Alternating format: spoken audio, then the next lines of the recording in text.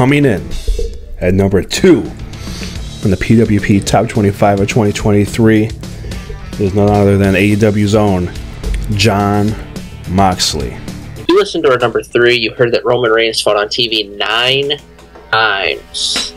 Jon Moxley has had 58 matches at this point in 2023. Whether that is with his Fightful Combat Club brethren, Claudio and Bryan Danielson, or whether that is in singles matches against the likes of Rey Fenix, Big Bill, Great-O-Khan, Rush, Jay Lethal. The list goes on. If you want to talk about someone that is multi-versatile and can be in the ring with anybody and can put on a good match, sure he might bleed a little, but that guy is Jon Moxley. We can't have it figured out yet, stay tuned for number one on the top 25 2023.